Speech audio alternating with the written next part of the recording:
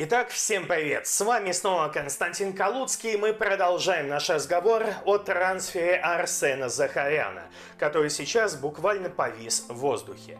Несколько дней назад мы всерьез обсуждали, что Арсен вот-вот должен отправиться в футбольный клуб Челси, однако сейчас мы понимаем, что ситуация очень сложная и есть, так скажем, важные нюансы, которые мешают этому переходу.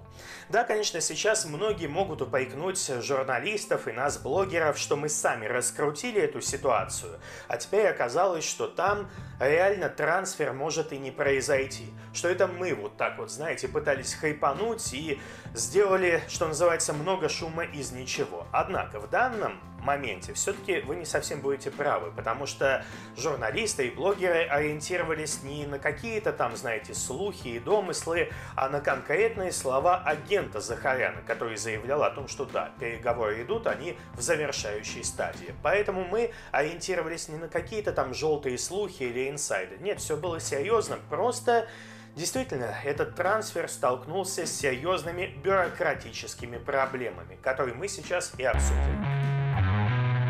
Но сперва хотелось бы рассказать вам о новом предложении от моих спонсоров из компании BaldBet. Вы можете выиграть 2500 рублей – ничем не рискуя. Что нужно сделать? Да всего ничего. Нужно пройти по ссылочке в закрепленном комментарии на сайт BaltBet, зарегистрироваться и ввести промокод, который также указан здесь в закрепленном комментарии. Вы получите возможность сделать бесплатную ставку, по которой вы можете выиграть до 2500 рублей. Ничем, повторяю, не рискуя. В наши кризисные времена бесплатная ставка на вес золота. Так что проходите по ссылочке в закрепленном комментарии и получайте фрибет. Итак, во-первых, хотелось бы сразу отметить, что ситуация тяжелая, но пока что не патовая. И здесь трансфер все-таки может произойти. До 2 сентября есть еще время на официальное оформление этой сделки. К тому же, если посмотреть на на телодвижение Челси, то есть ощущение, что они все-таки рассчитывают, так скажем, обновить свою атакующую группу. Уходит Хадсон Адои, появляются слухи о новичках, и не только Захаряне, там есть сообщение, что Гордона хотят купить из Эвертона.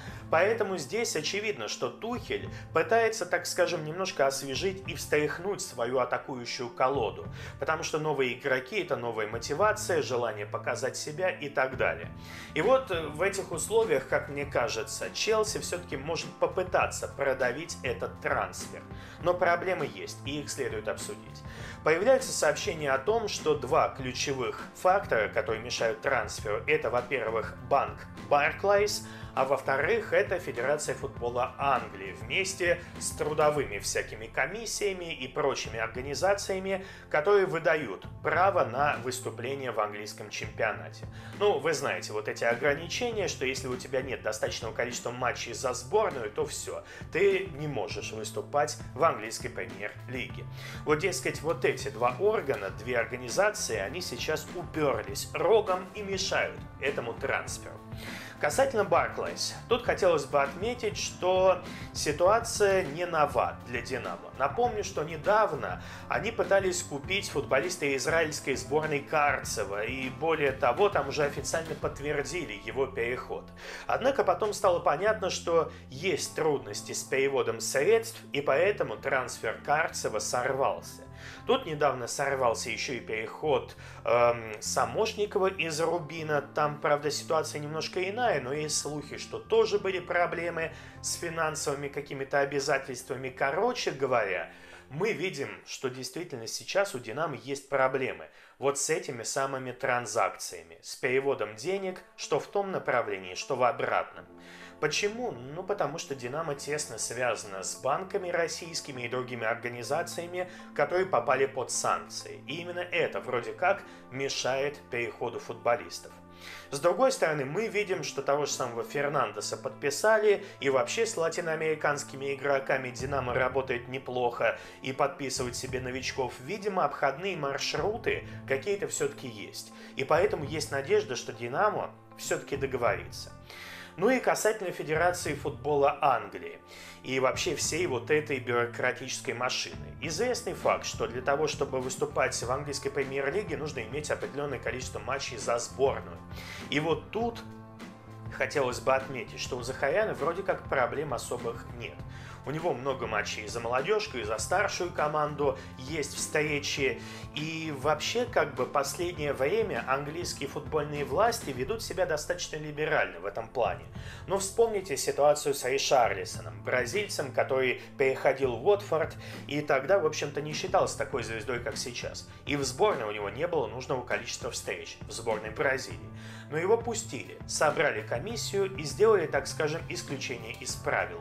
Дескать, за Ришарлисона заплатили много денег, поэтому его можно пустить э, в английскую премьер-лигу. То есть здесь какая-то абсурдная ситуация, потому что Уотфорд, вместо того, чтобы сперва уточнить, можно играть футболисту в Англии или нет, взяли и сперва купили его за большие бабки, а потом начали требовать допустить его до английского чемпионата, потому что вот посмотрите, сколько мы за него заплатили. Хотя по логике ситуация должна быть сперва, ну как бы немножко по-другому описана. Сперва, наверное, нужно договориться с чиновниками, а потом платить бабки. А не платить бабки, а потом этим мотивировать перед чиновниками то, что футболист должен играть. То есть мы видим, что в принципе английские чемпионаты, английские футбольные власти, Федерация футбола Англии, они готовы идти, так скажем, на компромиссы. Но в данной ситуации почему-то уперлись рогом. Как, кстати, и в случае с банком, который мог бы, наверное, найти какие-то обходные маршруты, но тоже встает в позу. И мне кажется, что здесь за всеми этими нюансами стоит, конечно, политика. Политика, потому что сами посудите. Челси – это команда, откуда недавно выгнали, буквально вот выгнали Абрамовича. Человека, которого сложно назвать ярым сторонником Путина, который давно уже свалил из России и вообще имеет не только российский паспорт, но и португальский. Но его все равно выкинули, в том числе под давлением общественности. И вот в эту команду может пойти российский футболист. Причем главная звезда, так скажем, молодежной сборной России, а уже и футболист старшей команды. Главная надежда нашего футбола, в общем, называйте его как хотите, который действительно может стать настоящей звездой в Англии. И вот здесь вполне возможно дали команду сверху, что этого паренька нужно вот просто вот, знаете, загнобить с самого начала. Не дать ему выступать в Англии, строить ему козни и так далее, чтобы он оставался в России или в худшем случае переехал в другой европейский чемпионат. Конечно, я понимаю, что у нас по-прежнему есть люди, э, живущие в своем мани-мирке, которые верят, что на Западе царство свободы, справедливости и э, правового государства, что там все по правилам и там не могут дать звонок сверху, чтобы вот подобное произошло. Но поверьте, там такое бывает и бывает регулярно. Мир, он примерно везде одинаков, и не стоит идеализировать тамошние порядки. Так что в данной ситуации я не удивлюсь, если за блокировкой трансфера Захаряна стоят просто вот тупо какие-то чиновники, которые решили таким образом ввести дополнительные теперь же футбольные санкции против России. Ну а что думаете вы? Пишите в комментариях ваше мнение. Ставьте лайк, если видео понравилось. Подписывайтесь на нашу группу ВКонтакте, YouTube канал и следите за обновлениями на нашем втором канале. Он посвящен кино и сериалам. Ссылка в описании. Не забывайте нажимать на колокольчик, чтобы не пропускать мои новые видео. Ну а если вы хотите поддержать наш канал, то можете сделать это финансово. В описании указаны реквизиты Сбербанка, Яндекс кошелька. Если вы поддержите нас финансовым донатом, то мы отдельно поблагодарим вас в ближайших видео. Ну и плюс к этому, если вы хотите помочь нам в продвижении этого видео, то можете оставить комментарий. Только комментарий должен быть больше 5-6 слов. Всем удачи, всем пока!